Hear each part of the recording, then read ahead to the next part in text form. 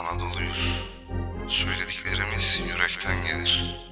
Dağını, taşını, insanını, her türlü değerlerini.